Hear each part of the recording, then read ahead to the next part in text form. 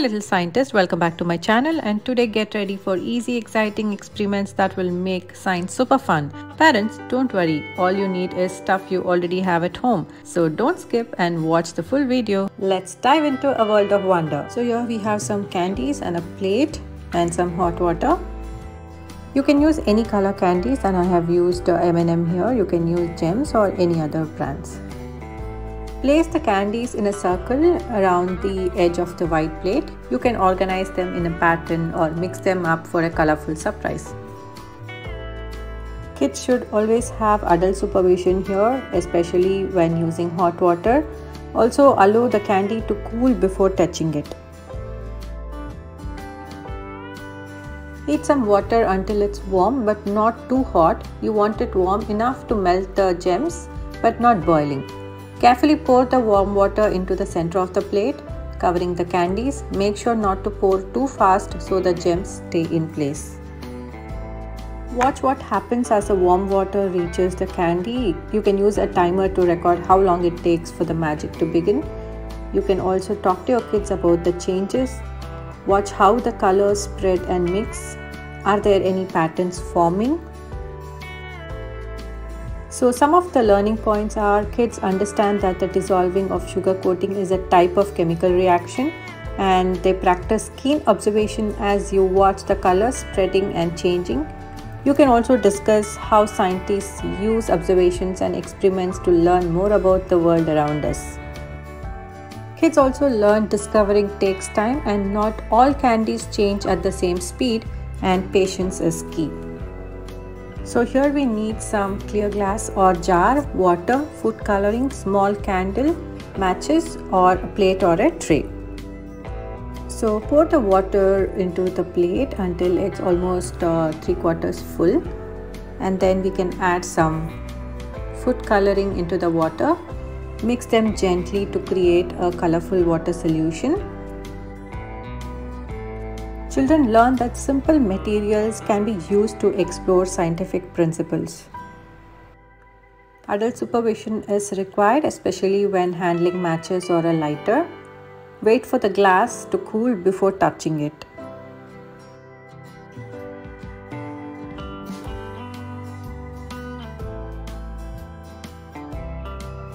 Next, set the small candle on a plate and light it using matches or a lighter.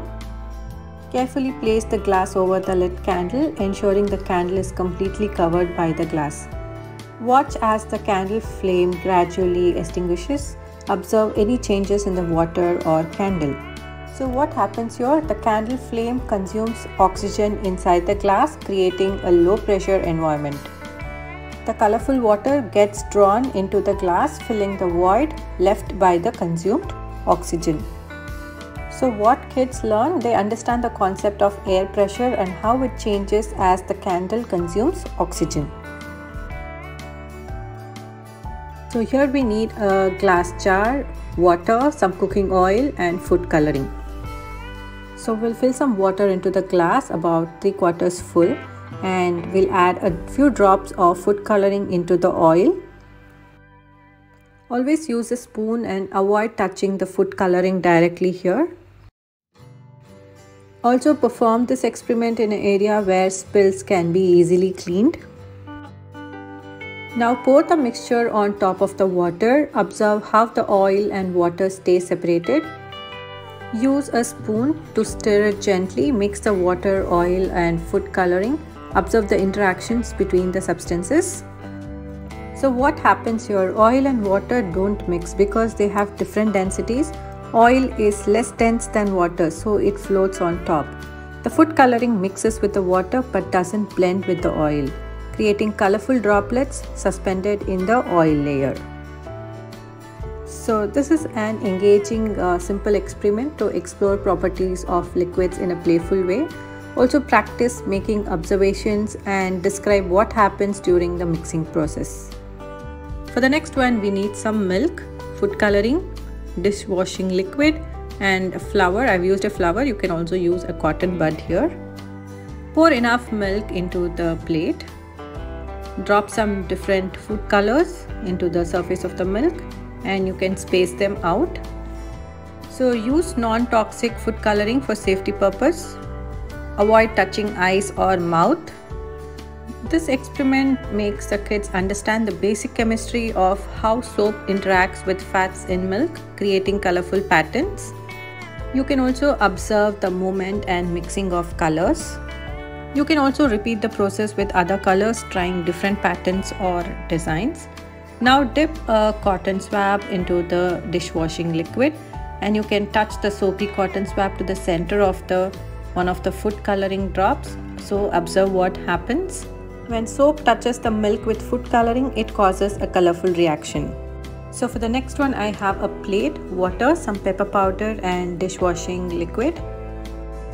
So pour a small amount of water onto the plate, just enough to cover the bottom. So kids learn about the surface tension and how soap affects it, creating a visible reaction with pepper. Sprinkle a pinch of pepper evenly across the water surface. Observe how the pepper floats on the water. This can also help kids understand that pepper stays on the water due to its hydrophobic nature. Add a drop of dishwashing liquid in the center of the pepper covered water surface. So what happens here? The soap disrupts the water surface tension causing the pepper to move away from the soapy area. So here I have two glasses of water, some sugar, spoon and food color. So create two separate solutions for this experiment. In one container mix plain water ensuring it's clear and free of any additives. In another container mix water with a specified amount of sugar until it dissolves completely, creating a sugar water solution. Use a moderate amount of sugar to avoid saturation. Stir the sugar into one of the containers of water until it dissolves completely. You now have a sugar water solution. You can now add a food color to each of the container. Watch what happens, observe if the layers mix immediately or if there is any noticeable difference between the sugar water and the plain water. So what happens here due to differences in density, the sugar water being denser than plain water might form a separate layer on top. Kids explore how sugar dissolves in water to create a solution with different properties also, this is an engaging hands-on science with basic kitchen ingredients. For the next experiment, we have some lemon, baking powder, food color, vinegar. So cut the lemon in half to create a stable base for your volcano. Squeeze a bit of lemon juice into the lemon halves. Add a few drops of food color and a teaspoon of baking powder. Perform this experiment on a tray or a plate to contain any spills. Also, adult supervision is required, especially while using cutting tools. Add a few drops of color and quickly observe the enhanced fizzing and bubbling reaction as the vinegar reacts with the baking powder and lemon juice. Try different food coloring in each half of mixed colors to see the changing shades of the lava. So what happens here? The vinegar reacts with the baking powder and lemon juice to produce carbon dioxide gas creating a more vigorous volcanic eruption. If you enjoyed this video, don't forget to drop a comment, hit that like button and share it with your friends. Your support means the world to me. Let me know what you want to see next. Suggest your video ideas in the comments below. Until then, stay awesome and catch you in the next one. Thank you so much for watching.